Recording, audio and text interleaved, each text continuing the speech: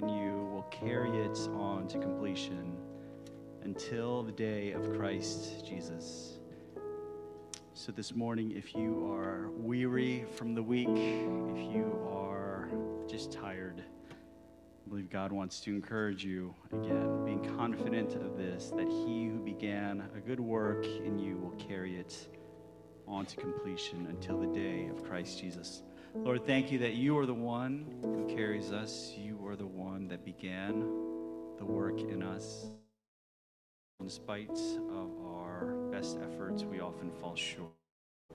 God, we come before the throne of grace yet again this morning. Lord, shower us with your mercy, with your kindness. Lord, bless your people this morning. Amen. Amen. Let's sing.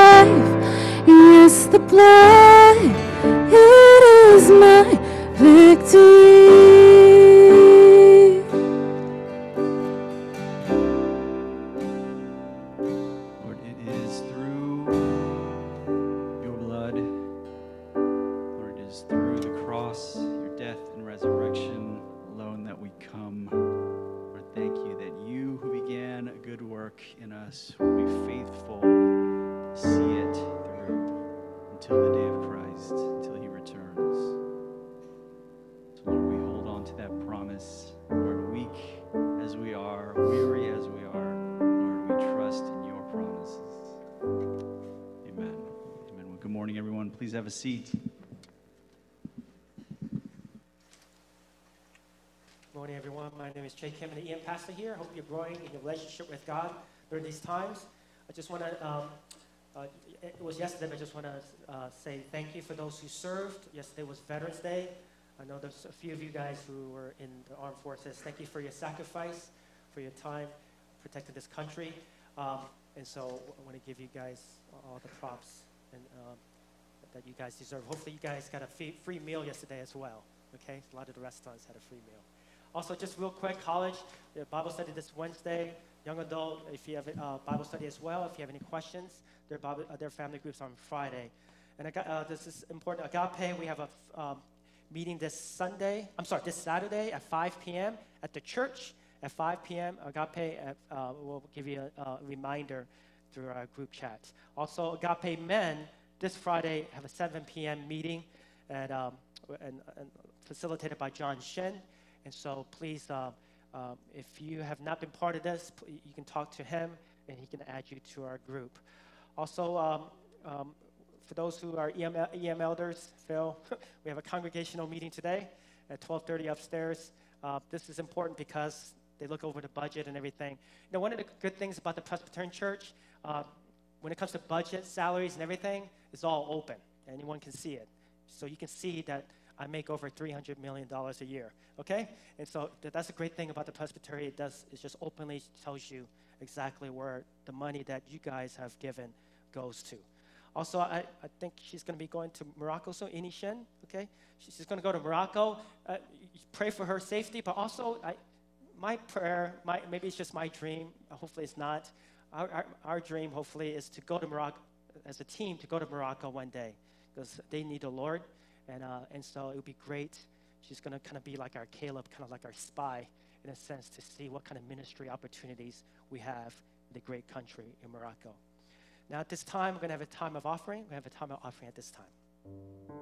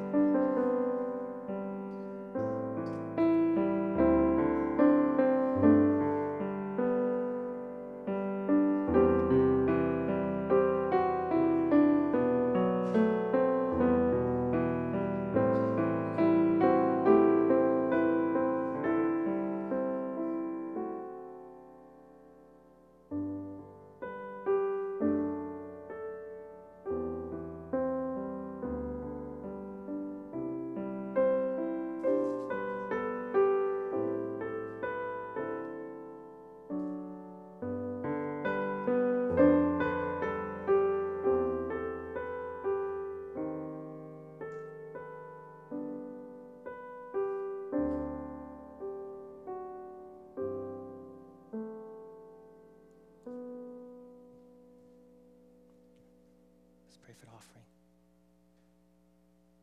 Father, we know that you have given us the most beautiful gift. You give you gave your all, your son, your only begotten son. We thank you so much, Father, that you put a spirit in us, the Holy Spirit, to have that same sense of giving. May we always be a giving people for the works of your kingdom here on earth. Thank you so much. We pray this in Jesus' name. Amen. If you could all stand up at this time, let's join together in confessing our faith, the Apostles' Creed. I believe in God, the Father Almighty, maker of heaven and earth, and in Jesus Christ, his only Son, our Lord, who was conceived by the Holy Ghost, born of the Virgin Mary, suffered under Pontius Pilate, was crucified, dead, and buried. He descended into hell. The third day he rose again from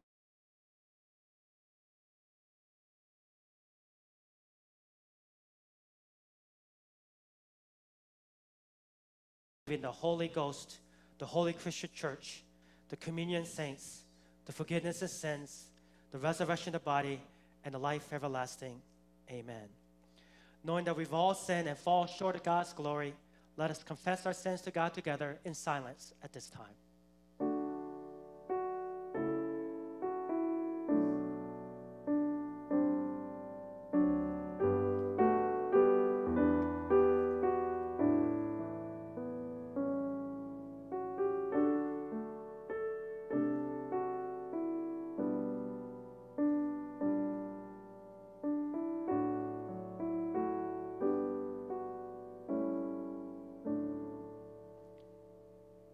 Friends, believe in the good news of Jesus Christ. In him we're forgiven.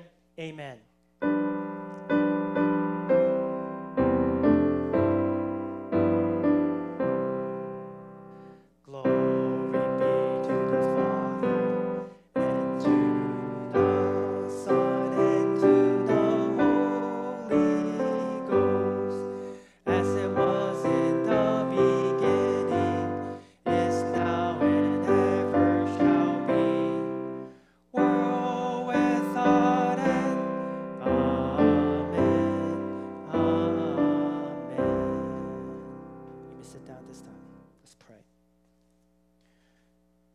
God, we thank you so much that even before the foundations of the world, the cosmos, the universe, you chose us, you loved us, you knew us. We thank you for that great truth. And we thank you for the promise that as sons and daughters of God, the Most High King, that one day we will shine like you, be in radiance like you, and rule the cosmos. We thank you so much for the Word of God, the major means by which we can communicate with you. The Word of God is enduring, is everlasting. Father, I pray our church will be known to love your Word, be rooted in your Word. I pray that thy word be in our hearts and our soul and guide the way we look at life and live life. Lord, we continually thank you for all the blessings that you showered upon us, the many times that you've come through when we were at our darkest. We know, Father, in the valley you are there, in the depths you are there. You are always there.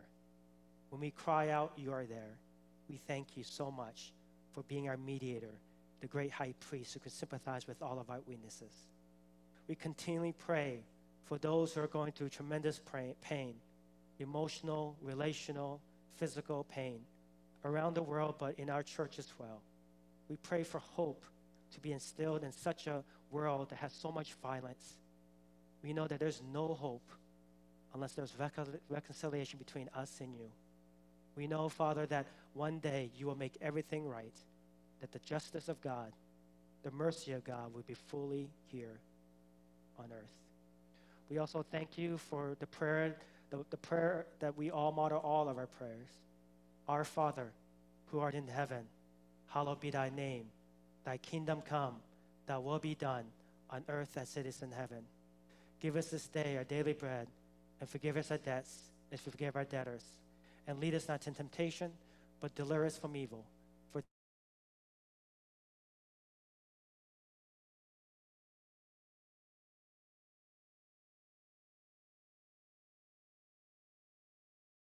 long.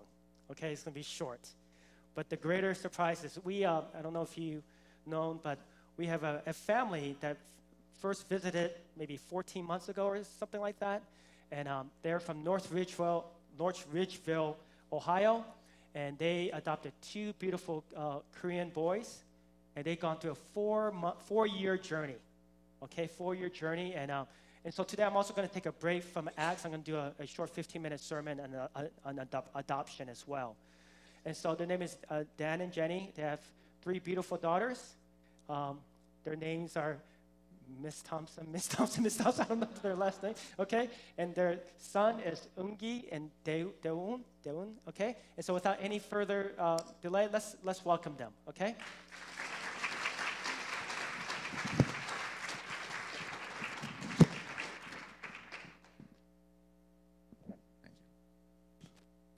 Well, good morning.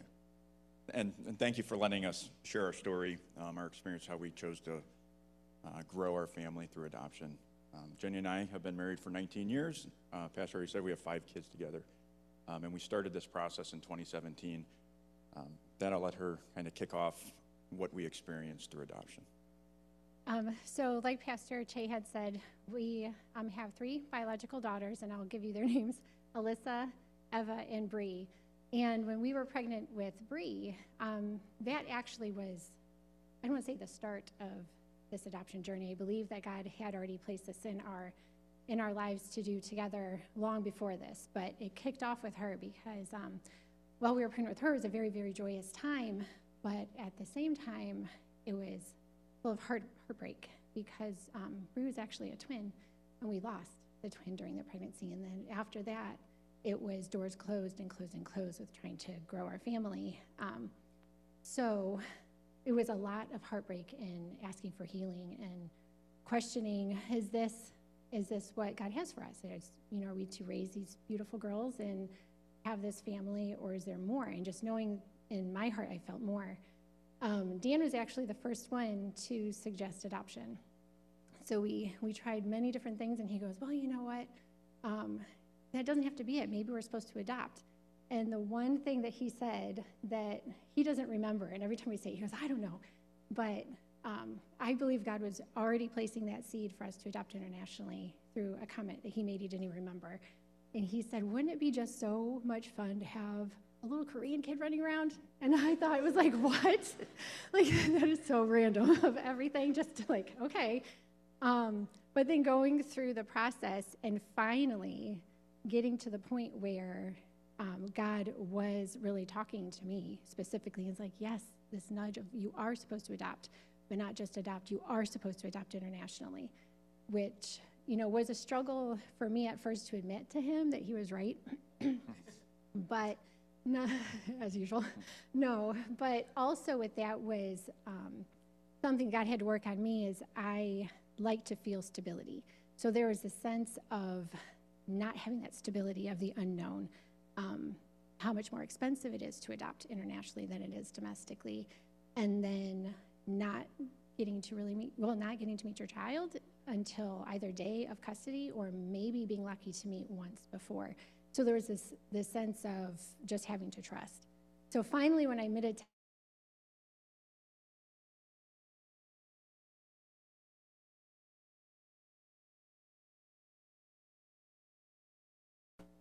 to admit to Dan that this is what we were supposed to do. I'm also a researcher, I'm a teacher, and so that's something I did, and it, I kept being brought back to this one international agency, which is Holt, and they started international adoption. Um, they're the, the founders of it, and they founded it in starting with Korea at the displacement of children during the Korean War, and that really spoke to me that I'm supposed to go back to the beginning. We're supposed to go back to the beginning in our faith, and we're supposed to go back to the beginning of what He has for us. so that led us to choose Korea and to choose adopting through Holt and to start the process.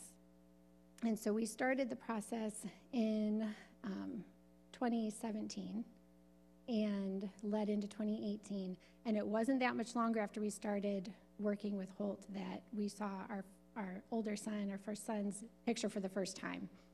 And um, it was very interesting because we were able to decide, you know, how will we how will we navigate through this process? And Dan and I had chosen specifically to adopt a child who was considered on the waiting child list. So that that meant um, in the adoption world a child who is harder to place for different things, different reasons. And when I saw his picture for the first time that next Sunday at service, felt this amazing just movement of God saying, You are to pursue Dayun. And we didn't know his name at the time. At the time, it was just a, it was Dylan. We didn't know his Korean name. and you're supposed to pursue him as I pursue you. Dan was working security at the time at our church, so I texted him, like, we're supposed to go after, we're supposed to try. And he, all his response was, okay. So, like, all right, just trusting me. But we did. We immediately said, you know, we would like to be considered. What do we need to do? And started that process um, with Dayun and ended up being um, considered. We were we were interviewed on his first birthday, um, and two days later we found out that we were the family that had chosen to be his match, and started the travel process. Yeah, so, um, then the, then the tedious, long, long, you think, you, you, you, we get matched and we're like, oh, we're gonna hit the ground running, let's go get this little kid and bring him home. It takes forever. It's, it's tough to wait and to go through that. However, it, it, it's a good thing. You, it helps you prepare, it helps you pay for it. Um, so even though we started at the end of 2017, we didn't finish that first adoption until the end of 2019. Um, and uh, so it, the first adoption, it was just the two of us. We didn't know what to expect. We had, we had kind of, uh, we had friends that had, had lived in Korea before. Um, they gave us some, some tips. So for that, that first adoption, it was just the two of us that went. So we, we traveled to Korea in October of 2019. We stayed for a couple weeks. We met him a couple times. We went to the court. Um, and then they tell you, okay, go back to America and wait some more. Know when we're going to be traveling back. It could be a month. It could be two months.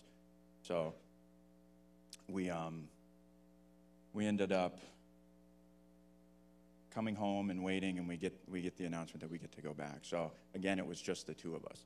And we go back, and some things that we experienced in that, that first, first trip was um, getting to know Dayun's foster parents, um, specifically his foster mom. Um, especially if anyone knows anything about adoption, for the most part, you're not supposed to know um, or, or continue a relationship post adoption. They don't want you to be doing that. However, they snuck us their information, and after we talked about it and prayed about it, we decided they want to have a part of Dayun's life, so we're going to allow that con- to continue. We'll ease into it. Um, so I'll, I'll let Jenny share a story of what we thought was going to be a very exciting day for us with um, the custody exchange. Uh, you know, we're going and we're going to take custody of him. We're expecting to become, um, it- it's going to be this, this joyous occasion where he's going to run into our arms and be like, ah, we're family now. You have that in your mind. That is not what happens. Um, I, I, don't, I don't know why we expected that. He's two years old, and um, I'll let you explain that story. Uh, well, before I do that, the one thing I'm going to say is our, I believe with Dayun's adoption, God showed up in dates. So when we had decided to adopt, it was the summer he was born, and we didn't realize. Then we also um, were matched, or had our interview on his first birthday, and then our custody date actually landed on our 15-year anniversary. So um, that was God confirming how much he truly loves us and Dayun, that he's showing his love in such a tangible way. Um, so we went in already like feeling strong about our marriage, knowing that, you know, we're bringing this little boy into our hearts. But then it was also the reality of how hard love can be.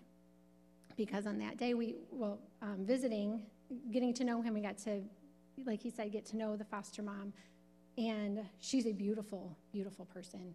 Um, one of the most loving people that I think I've ever met, ever. And I still respect her so highly. So we, we got to go in, and she's telling us how much she respects us and thanking us for loving Dayun already and how good she feels about him going to our family. And, um, and then custody, she can't stop touching him. She can't stop hugging him. And then, you know, in turn, us as well. But realizing that for her, this is the last tangible moment that she might ever get to hold him. She might ever get to love him. And she has been taking care of him since he was 16 days old.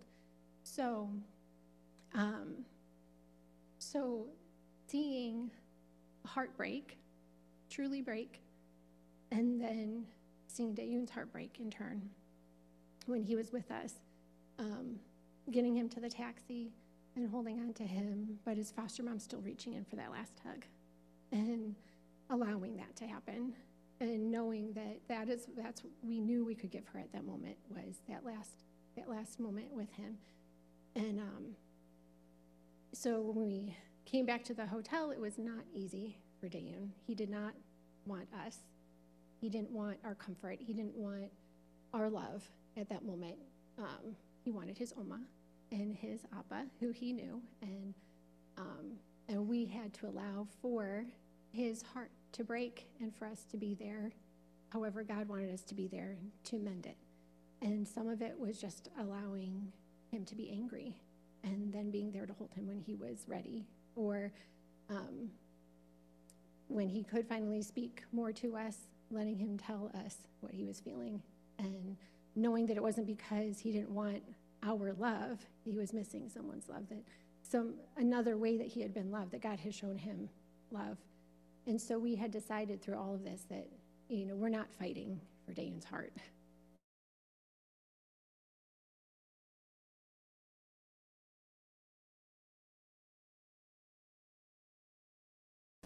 To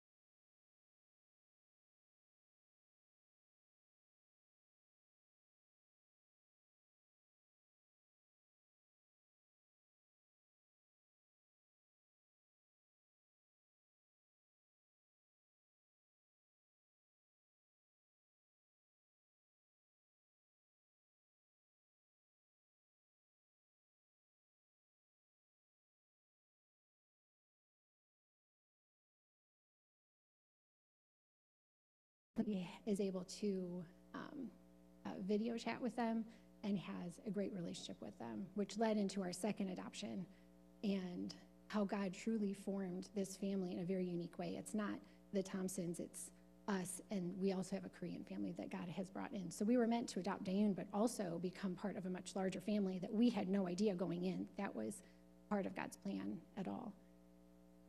Yeah, I think you'll see some pictures with, um, you know, two older Koreans and, and some other younger couples our age and their kids. So that's, that's Dayun's foster family that we, the second trip we went back, we had the opportunity to go on vacation with them. We were there for a much longer time. During COVID, we went and just stayed for two months um, and just lived in Seoul because it, it, it was difficult to get in and out of the country. But then, so I guess we'll fast forward a little bit of, of the story about Ungi. Uh, Jenny and I got back on the plane and um, we're flying home with Dayun, and we decided on the plane, okay, we're going to do it again, and we're going to make sure that we have all of our kids there with us this next time that we do it. So we got home and we waited our six months that you have to wait um, to reapply to do another adoption. So we and we get rolling with that process. And while all this is going on, COVID hits. So um, we were kind of cruising along in the pro, uh, in the process. Dayun was doing good. Um, we were planning on taking all the kids. We had filled all, all of our paperwork. We had gotten to the point where we were just in cruise control, just waiting to get our court date. This is October of, um, uh, beginning of uh, 2021. Yeah, so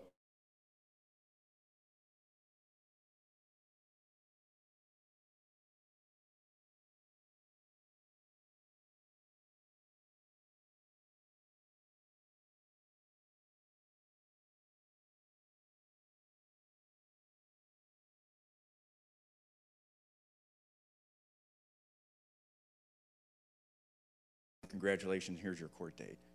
And it's uh, like October 20th. So I, I got about 20 days to get all of us to Korea. Um, and on top of that, I'm reading through it and I go, ah, I, I, I have to turn everything in within, within three days because you have to file for quarantine exemptions. Um, I'm sure many of you know that, that stuff. So I had three days to, to, to book, book a, a, rent an apartment, get flights, do all these things. And then I'm going through and I'm like, we don't have Dayun's passport yet. We've been waiting months to get this kid's passport. We don't have it. And my heart's sinking. It was our goal to make sure all of our kids went through this experience and, and saw the good and the bad and the tough that we experienced the first time. So I'm driving home and I'm thinking, this is, this is going to be one of those miracle stories. I'm going to pull in, his passport will be in the mailbox, and we'll hug and it's going to be great.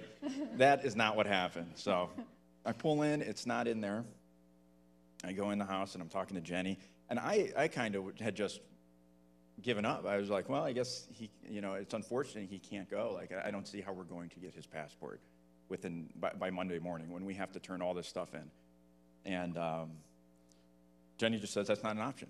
You're- get it done. what I said. I'm like, nope, we have to do it. So, any, anyone that, any, any guy that's married, you know the kryptonite of your wife crying. You'll do anything to fix that. So, I'm like, all right, well, let's figure this out. So, by now it's like 4 p.m. on a Thursday, and I'm, I find how you can get an expedited passport online, and so I, I call up um, the federal government, whatever office it is, and I go, okay, hey, I, uh, I need a passport for my son. I've already sent all his paperwork in. We're waiting on it, but I gotta, I got, I'm going to Korea and I need it. And, and she goes, okay, that's great. Um, you just have to pay an extra fee. We'll set you an appointment, but you have to prove that you're, you're leaving the country within 72 hours. And I, I, I lied. I go, yeah, I'm leaving the country within 72 hours. And the lady's like, well, okay, give us your flight confirmation number because we're going to check it. And I go, all right. Um, I don't have that with me right now. I have to call you right back. So, so now the game's on. And this is how much we wanted our kids to go to Korea with us. So, especially Dayun. We didn't know if we're going to get another opportunity to have him go and, and reunite with his foster family. So, I go online and I buy two tickets to Korea. Me and, me and Dayun are going. I fake tickets. And I actually bought them, but um, we weren't planning on going in two days. And I call her back, here's my flight confirmation number. Um, I'd like an appointment. I live in Cleveland. And she goes, okay, I have one appointment left. It's in Houston, Texas tomorrow morning at 9. and I, I go, well, I've gone this far, so I'll take it. And I, uh, I tell Jenny, I said, let's figure out how do you get to Houston. So I, I go back online, I buy two tickets to Houston. Luckily, that was pretty easy. There was a flight leaving from Hopkins. And um, at this point, it's the evening, I have no paperwork. Like it gives you the list. You need this, this, this. It all has to be originals. I don't have any of that. That's already been sent in to the federal government. So I, um, I don't even have the paperwork in my house. I do all this at work. So I, I drive into Cleveland. I, I make copies of what I can. I'm filling out paperwork. Come home, and it gets to be about 10. I'm packed, going to be leaving in a few hours, and something's eating at me, and I can just feel it. We're praying about it. I, I don't know what, what's going on, and I reread the paperwork, and it says both parents need to be present to get the passport. And now I'm like, oh no. Or, so I reread it, reread it, or you can have this form notarized. So at 11 o'clock, I'm printing out another form. I'm calling up notaries. Luckily, I get my mom woken up. I get her over to the house. We get this filled out, checked off. We're on a flight to, uh, to Houston the next day. And um, to wrap it up, I'd never been no, so nervous in my life. I have anxiety. I'm, I'm standing in line at the federal building. I've been a police officer 20 years. I know the signs of human trafficking. And I'm, I'm standing with this little boy that doesn't look like me. And I'm sweating, I'm breathing heavy. I, I was so nervous. I was so nervous. And, and I'm like, Some, somebody's going to pull me out and interrogate me. It, it didn't end up happening. We ended up being there all day long. I, I explained the situation to the lady at the window. And about five hours later, we ended up getting the passport. It was, it, it was a total, total God thing. It, it, it, it was tough. We managed to figure it out, but that's just like a, a little like of the intensity that we felt that all of our kids are going to be present and experience this. Yeah, so then we get the passport. Uh, Dan starts with the quarantine exemptions. We do what we have to do. Um, we think we're good at that point. Like, okay, like that was a huge hurdle. We're leaving in, gosh, at that point, like 15 days. And um, then our youngest daughter, Bree, um, started to not feel very well. So then she has COVID. and so this was one where it was like, oh my gosh, you know, so I mean, she, she, we were like, I'm sorry, but you have to stay in your room, kid. Like, we have to try to figure this out. Um, at the time, it was like, okay, we still have 15 days. It could, you know, we'll go so far, we'll test again. Um, but it got to, um, I don't remember how close it was to us leaving. The last opportunity she could take a test and then be able to fly. And it came back positive. So we then, during all of this, um, I kept thinking, like, no, no, it's going to be fine. God wants us all there. I know that we're all going to get there. So it's going to be okay. But we kept, like, we, we kept taking tests until that last one. And when it came back as positive, I again started crying. I probably cried like 50 times that month, but um, I cried because it was that thought of like you're we're leaving one behind. We have to go to make this court date. Like we we can't not go to court, and we both have to go. And um, so then we ended up leaving. Um, Dan told Bree, "Don't worry, well, I'll be back. You're going to get there. Um, we're going to get that negative test, and then I will come back and bring you to us." Knowing that sometimes you can test positive for what, like 90 days or whatever after, like you have COVID. I don't, but it was like thinking like, oh God, you got, you've really got to come and help our daughter. So we go, we get to Korea, and we're there for maybe a week, and then she tests negative. So, but we still have to make our court date, so it still is waiting. But in that moment of not knowing and being without her, we, we really felt incomplete. Our family was incomplete. And the experiences we had did not feel the same without her. But on the flip side, looking at what God was doing, our community took care of Brianna. When she was at school, her classmates took care of her.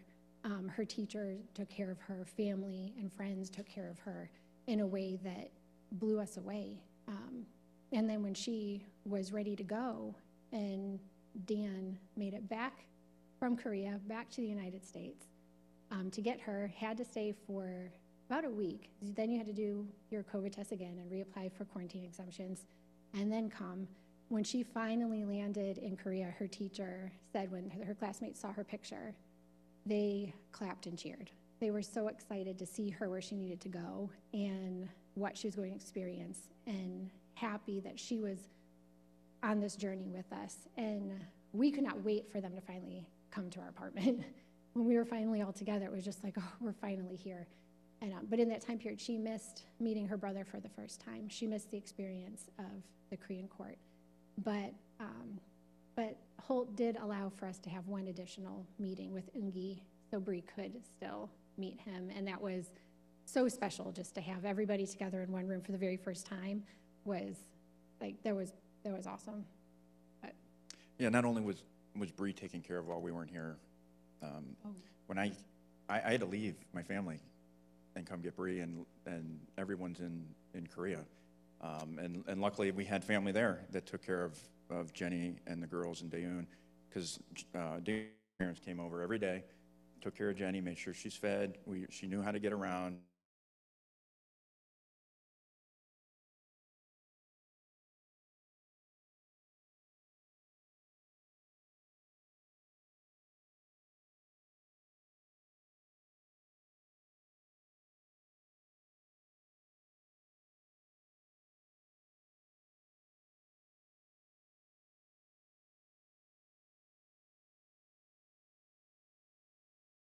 So we were definitely taken care of the entire time.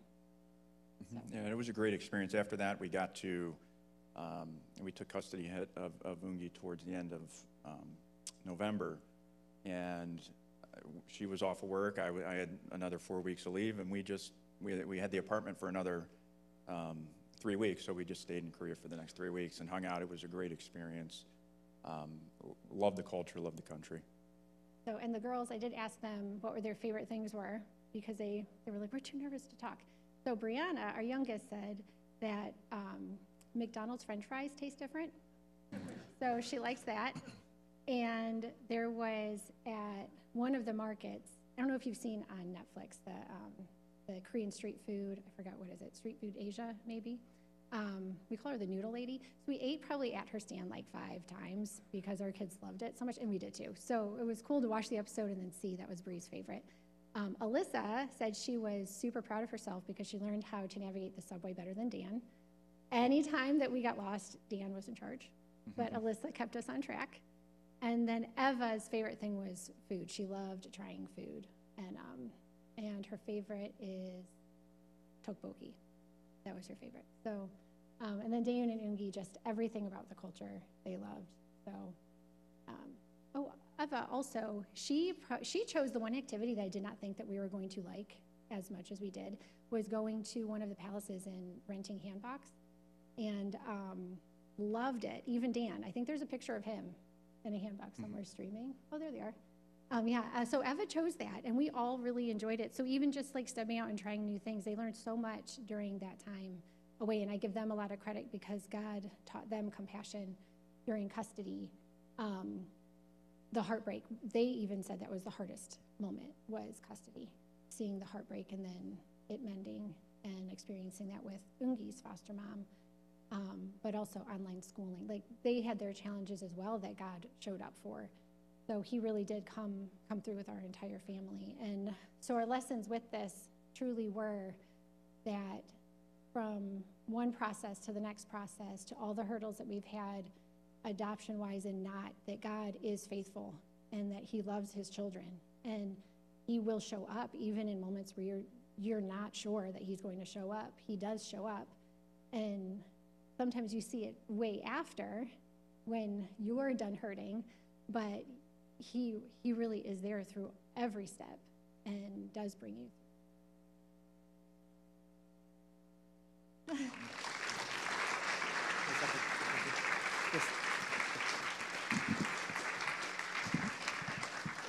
I just one question for you guys. Is anything you want to tell us how, how, as a church, you can maybe help you guys or help your five kids? You know, Any, anything that, Yeah.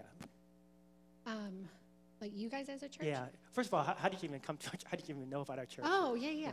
Okay, so yeah, so um, so we happened to meet another Korean adoptee, an adult Korean adoptee at a wedding, and he at the time was directing Asian adoptee camp in Avon, and just mentioned like, hey, you should come check it out. So we became friends with him. So that summer we we did search. We're like, yeah, any way that we can find culture to continue for our family, we will do that. So we went, and we happened to go on the evening that your church was providing the meal for this Korean camp. And members from your church invited us. So we got connected that way and decided, like, yeah, we're going to give it a try. We're going to we're going to go and check this out and see how we can get plugged in. And um, even though we're members at another church, we still want our boys to experience this community and this culture. And we've come to really love this church as well. So, um, so we've been coming for over a year, a couple times a month, and have really enjoyed getting to know everybody. So, Thank you. Okay, thank you. Thank you so much.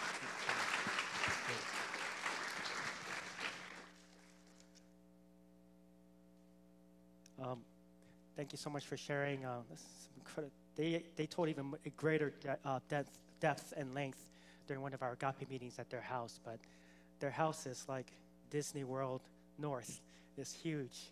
And, um, but I hope you get to know uh, their, their five beautiful kids, get to know Dan and Jenny.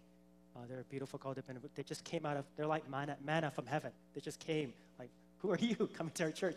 And they've, they've blessed us the last 14 months. I hope you guys get to know them. Thank you so much for blessing us today. This will not be a 15 minute sermon. This will be like an eight minute sermon, okay? All right, let's turn to Ephesians chapter 1, verse 1 through 14. Ephesians chapter 1, verse 1 through 14. Paul, an apostle of Christ Jesus, by the will of God, to God's holy people in Ephesus, the faithful in Christ Jesus. Grace and peace to you from God our Father and the Lord Jesus Christ. Praise be to the God and Father of our Lord Jesus Christ, who has blessed us in the heavenly realms with every spiritual blessing in Christ. For he chose us in him before the creation of the world to be holy and blameless in his sight. In love, he predestined us for adoption to sonship through Jesus Christ in, according, in accordance with his pleasure and will, to the praise of his glorious grace, which he has freely given us in the one he loves. In him we have a redemption through his blood, the forgiveness of sins, in accordance with the riches of God's grace that he lavished on us. I'm going to stop there today, okay? Um, like I said, I'm not going to talk about Acts. I'm going to talk about adoption today. I think a perfect segue. Um, you know, in verse 4, it says this We were chosen in him before the foundation of the world. That word, that word world is not just this world, it's the, word, it's the universe. You know, this is an awesome thought, right? Before the universe was even established, God knew you and loved you. Okay? There's never been a time in eternity when God did not know you and love you. Okay? For as long as, you know, as long as God has been in existence, which is forever, He has known about you, cherished you, and plan to redeem you and to save you. You know, sometimes people take this verse means that God simply just knew beforehand who would cho- choose him, as he would look at down the corridors of the future and say, "Oh, I see that Che would choose you. Che will love you, so I choose him back." That's not what this verse says. It says he set his love on us. He chose us before we were even a twinkle in our daddy's or mommy's eyes, okay? And so from verse 3 to verse 14, it talks about this whole salvation process. In this passage, there's 24 verbs, 24 action sequences. 20 of them are all God's. Four of them is what we do. Out of the 24 verbs, 20 are God's, four is us. This, this is all we do. We listen, we receive, we believe, and we hope. That's our job. We listen, we receive, we believe, and we hope. Isn't that beautiful? So, what part of salvation are we responsible for? He does all of the work. He does all of the all of the saving. We do all the sinning. Okay? And so here's the question: Why did He choose me? Why did He choose you? Was it my potential? Was it? Did God look at me? God look at Steve? God look at Phil and say, "I got to have that guy on my team"? Is that the reason? Is it because they have great potential? Not at all. And one of the most mystifying, beautiful passages in Deuteronomy chapter 7, verse 7 to 8, he said this The Lord did not set his affection on you and choose you because you are more numerous than other people, for you are the fewest of all people. Basically, saying, I didn't choose you, Israel, because you were great. You became great because I chose you. And Deuteronomy 9 6 says this It's not because of your righteousness that the Lord God is giving you this good land to possess, for you are a stiff necked people. Okay? So he's not saying it's because of our goodness or righteousness that he chose us. In chapter 2, we don't have time, it says that we were dead in our trespasses. Listen, dead is dead. I don't care if you watch Princess Bride, there's not mostly dead, half dead. Dead is dead. Okay? And so there's no such thing as mostly dead. You're either dead or not. And so God didn't choose us because we're lovable. In fact, in chapter 2, it says that we were actually God's enemies, sons of disobedience, objects of his wrath. And so I know some of us, we, we, we, you know, we rationalize. Yeah, I made some mistakes, but I'm a pretty good guy. You know, don't we say that all the time? Yeah, I made mistakes. I'm pretty lovable. Well, you are underestimating how disgusting sin is. This is what Jonathan Edwards says. The slightest sin has an infinite amount of hatefulness in it, enough to outweigh whatever loveliness the creature possesses. The slightest sin has an infinite amount of hatefulness in it, enough to outweigh whatever loveliness the creature possesses. There are loveliness about all of us, but our rebellion is so hideous, it outweighs any good that we do. Okay? So what then? What, so why did he choose us? And that's the, that's the great mystery. In Deuteronomy 7 says, it's not because you're more numerous, it's, it's because I, I loved you. I set my love on you. He doesn't give a reason why. He's kind of redundant. He loves you because he loves you. Listen, those who are parents, you understand this fatherly, motherly love. Okay? Eh, eh, think about your own kids. I don't love them because they're so great, because they're so lovely. They might be. I just love them. Do you understand? I just love them. Okay? It's not, it's not. Before the foundation of the universe, He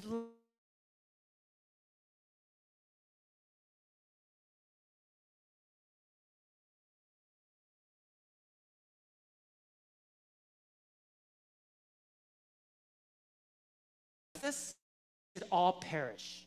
We should all be separated from God.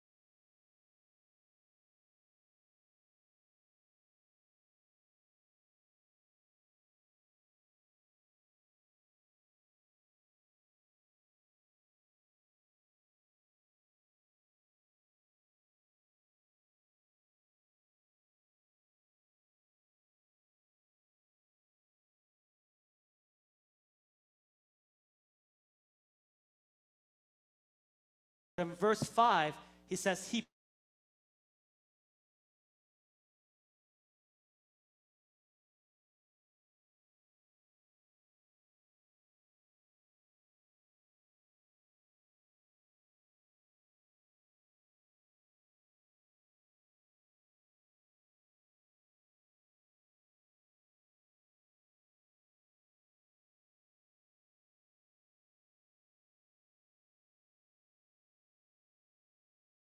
We're rebellious kids. But he says, I will make you mine.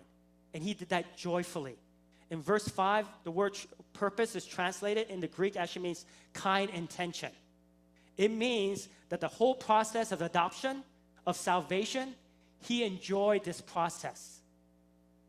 He went through a process of six years, and it cost him everything the blood of his own begotten son to accomplish it. Okay? Now, I've seen some people who've adopted, and one of the things that they all tell me is this that when, you, when they walk into the nursery and see the one who's going to be their child, immediately your heart wells up in love. It's just, and immediately says, They are mine. They are mine. That's just a foretaste of the kind of love that God has for each of you. And so God walked into the orphanage of sin, deformed by sin, and love welled up in his heart, and he said, He is, he is mine. She is mine. Listen, that is our ultimate identity. Do you understand that?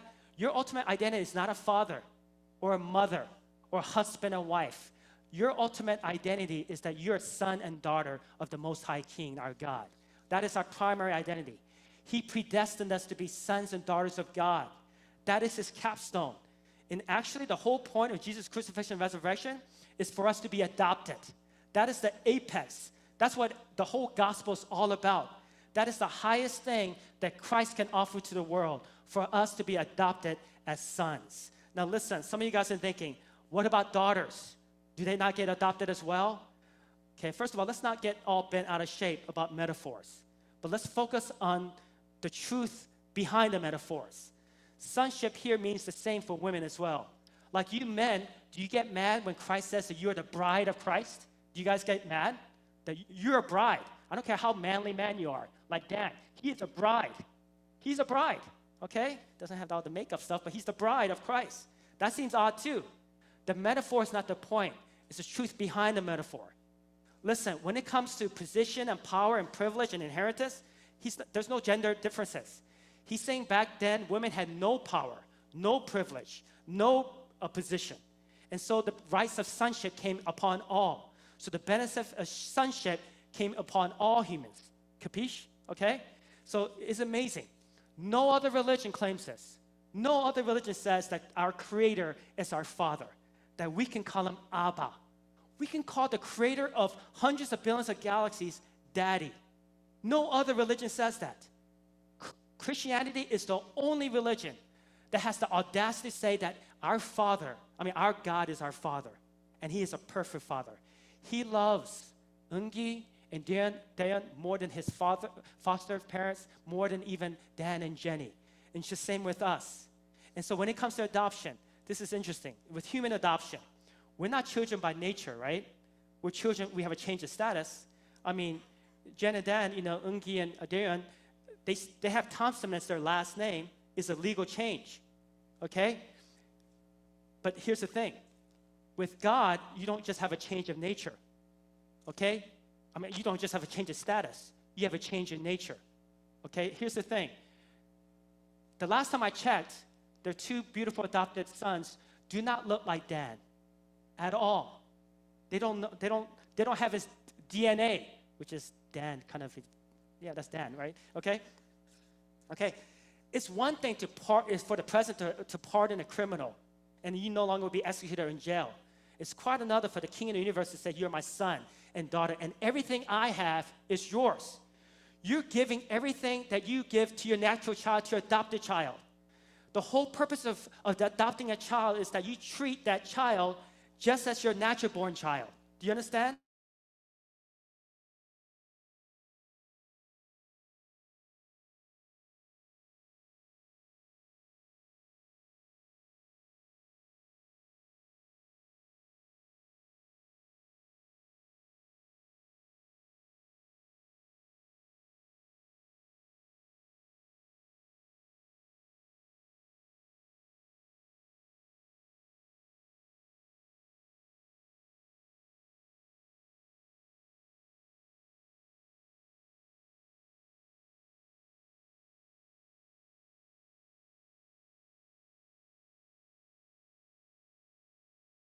And that means one day, comically, that some of you guys have had small daddies. Okay, some of you guys have small daddies.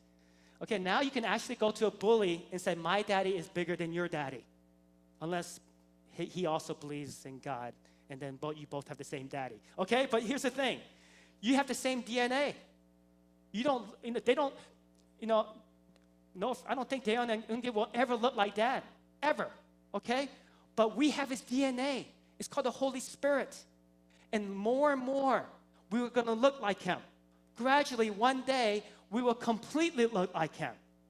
In Hebrews 1 3 says, The Son is the radiance of God's glory and the exact representation of his being.